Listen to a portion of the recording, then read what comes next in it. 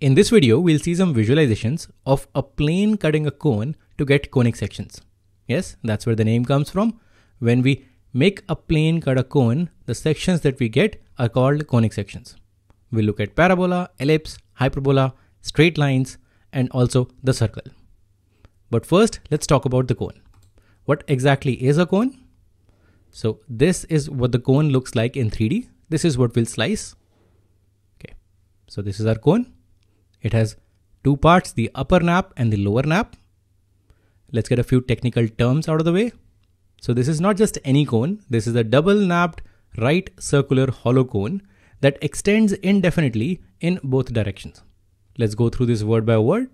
So we can see that this is a cone, but this is double napped, which means this has two sides, this one and this one. It's right circular hollow cone. This is hollow. This is circular. The base is circular and it's right, which means it's perpendicular to the axis. It also extends indefinitely in both directions. Now what you might see is just a slice of this cone, but in reality, this cone extends indefinitely in both directions. It keeps extending in this direction as well as this direction. Now another point, how do we make this cone? We take a fixed point and we have an axis and we take another line that's called the generator. So this line is called the generator. We tilt it, let this angle be alpha so this generator is at an angle alpha with this line and then we rotate it in 3D. So when this line rotates, what we actually get, the surface that we get is called this cone. It's a double napped right circular hollow cone. Now because this line, the generator also extends indefinitely, we also see that this cone extends indefinitely in both directions. Alright, now that we're familiar with the cone, time to slice it with planes. Let's make the first slice. Okay. So this is our plane and we slice it. Let's see what we get. So the section that this plane makes with this cone is called a circle. You can see that wherever it cuts, it's a circle. So this is a circle. And if you have to measure the angle that this plane makes with this axis, that's 90 degree. It's perpendicular to the axis. So the angle that this plane makes, let's call this beta. In this case, it's 90 degrees. So whenever the plane cuts this cone at an angle of 90 degrees, we'll get a circle. Let's move on. Let's look at other cones. Let's look at this one.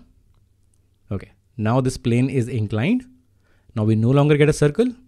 We get something else. What do we see? We see something oval and technical term for this is called an ellipse.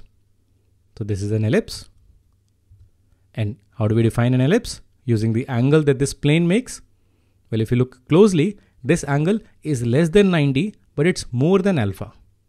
The plane makes an angle more than alpha, but less than 90 for the ellipse. Now you might be wondering what happens when this angle beta is less than alpha. That's the conic section that we'll see next. So let's make this angle beta less than alpha. Now this plane makes an angle beta that's less than alpha. What do we get? This is called a hyperbola. This has two branches, one on this side and the other one on this side. So this, what we get is called a hyperbola. For a hyperbola, the plane has to make an angle beta that's less than alpha.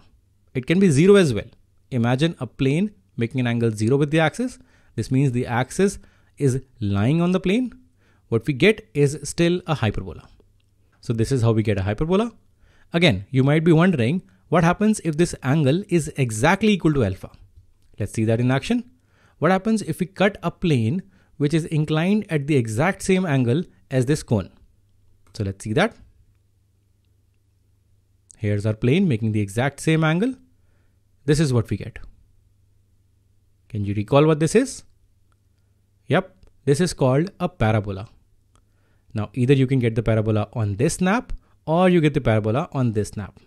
You can only get that on one of these. This is the parabola and this is also a parabola. You only get the parabola when this plane makes an angle alpha which is exactly same as the cone. So you get the parabola when beta is equal to alpha. So we have covered parabola, hyperbola, ellipse and circle. But then there are more conic sections. There are special cases when the plane passes through the vertex. So for the next few sections, we'll keep this plane passing through the vertex. So let's see what we have in the first one. Okay, let's tell this. What do we get? And you might say we get nothing, but it's still intersecting. We get the point. When the plane cuts the vertex at an angle between 90 and alpha, we get a point. So when the beta is between alpha and 90, what we get is also a conic section. It's called a point. So what do we get when the angle beta is exactly same as alpha? So this plane passes through the vertex and it also touches this side. So what we get is a straight line. In fact, this line is the generator for this cone. So we get the generator when this angle is exactly equal to alpha. So what we get is a straight line and that's also a conic section. Now what happens when this beta is less than alpha? If we keep the plane passing through the vertex and reduce the angle, this is what we get. Let's see this in action. If we reduce the angle, okay. Notice something? What we get is called a pair of straight lines. These are intersecting lines. Okay, so this is what we get. Even if the angle is zero, we get a pair of straight lines.